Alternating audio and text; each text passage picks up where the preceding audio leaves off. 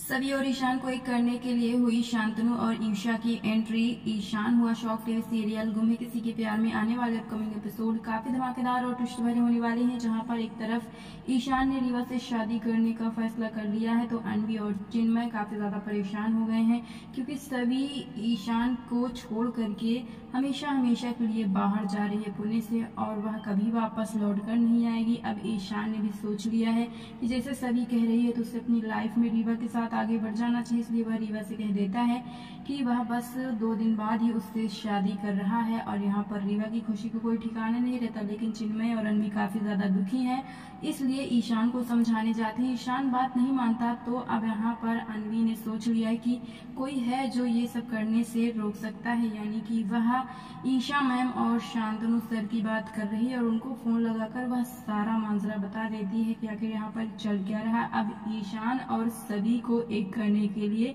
Isha ma'am और Shantanu sir की entry होने वाली है। बहुत ही जल्द भोसले हाउस में उन दोनों को देखकर वहाँ पर पहले तो राव साहब, अक्का साहब काफ़ी ज़्यादा उखड़ने वाले हैं, लेकिन उनके उखड़ने से कुछ नहीं होता क्योंकि अब ईशान की ज़िंदगी का सवाल है तो इसलिए ईशा मैम बोलने वाली है और वह ईशान को समझाने वाली है। ईशान जो है, वह ईशा मैम की बात को ज़रूर मानेगा और रीवा से शादी नहीं करने वाला है और वह सभी को अपनी लाइफ में लेकर के आएगा और यहाँ पर ये फैसला सभी का भी होने वाला है क्योंकि ईशा मैम सभी और ईशान दोनों को समझाने वाली है, साथ ही साथ शांतनु मिश्र भी इन दोनों का साथ देते हुए नज़र आएँगे। हालाँकि यहाँ पर अड़चने तो बहुत आएँगी, लेकिन वो दोनों ये सब संभाल लेने वाले हैं और ईशान को रियलाइज़ होगा कि उन दोनों को ही अपनी लाइफ में आगे बढ़ना चाहिए, ना कि रीवा के साथ। तो यहाँ पर ईशान और सभी की शादी जो है, वह फिक्स होते हुए नज़र आएगी और उन दोनों का रिश्ता यहाँ पर एक बार फिर से जुड़ते हुए नज़र आएगा। हालाँकि यहाँ पर अब आपको देखने को मिलने वाला है कि जिस दिन सभी का एग्ज़ाम होने वाला है